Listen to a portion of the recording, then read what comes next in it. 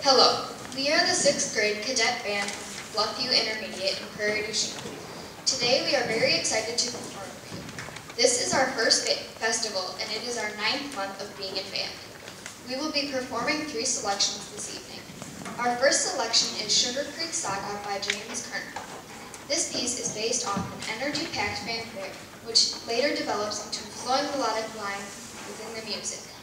The piece is also inspired by the countryside surrounding the composer's home in Kentucky. Our sec- second selection will be Renaissance Dances by Tielman Susato.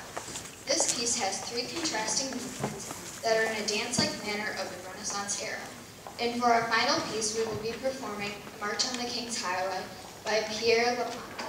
This piece is based off of two traditional English folk songs, The Old Woman and the Peddler and The Country Farmer's Son. Once again, we are the Prairie du Chien sixth grade cadet band.